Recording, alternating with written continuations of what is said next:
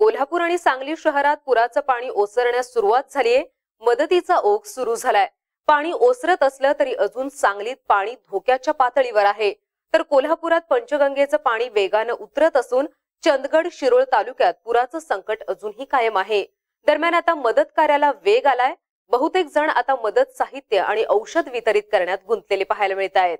अनेक गावात वैद्यकीय शिबिरं सुरू करण्यात आली असून डॉक्टर आणि वैद्यकीय साहित्यांसह गावागावात पोहोचले आहेत. मागील आठ दिवस वाहतुकीसाठी बंद असलेला पुणे बेंगळुरू महामार्ग काल खुला झाल्यानं या महामार्गावरील वाहतूक नेहमीप्रमाणे सुरू झाली आहे दरम्यान साथीच्या रोगांची भीती असल्यानं राज्यातील अनेक शहरातून वैद्यकीय पथकही इथं दाखल झाली आहेत अगदी बोटीत बसून ही पूरग्रस्तांची तपासणी करण्यात येते एनडीआरएफ भारतीय नौदल हवाई दल आणि लष्कराचे सैनिक मदत करण्यात अधिक सक्रिय झालेत. अलमट्टी धरणातून विक्रमी पाच लाख चाळीस हजार क्युसेकचा विक्रमी विसर्ग सुरू झाल्यानं पुराच्या पाण्याची पातळी कमी होतीये.